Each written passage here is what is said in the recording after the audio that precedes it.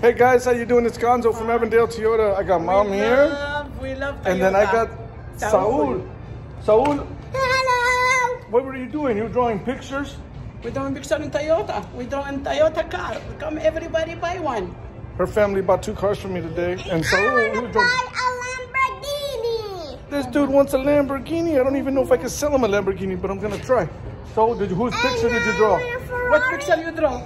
We draw your picture. Solid and Draw his Uncle Sal. His Uncle Sal bought a car for me. He drew a picture of him, and let me tell you, it looks like him a lot. But once again, congratulations, Mom. Look at this new limited Highlander. You gotta go check them out. They own the smoke shop over in Goodyear, right there off of Litchfield and Van Buren, right, Mom? Right. It's the owner right here. They're gonna, they're about to make how many more?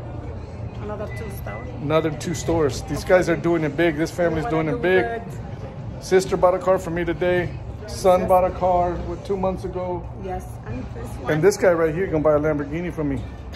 Come and check us out a here. Ferrari and a No, Tesla. No, Oh. oh my God, we want to buy a dealer. Guys, get, Candy.